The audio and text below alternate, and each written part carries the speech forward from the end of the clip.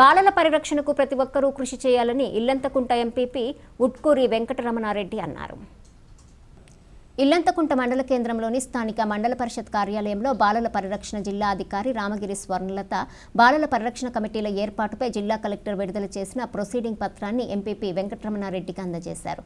ఈ సందర్భంగా ఎంపీపీ మాట్లాడుతూ నేటి బాలలే రేపటి పౌరులని ఎలాంటి బాలలకు రక్షణ కల్పించడం అందరి బాధ్యతని అన్నారు.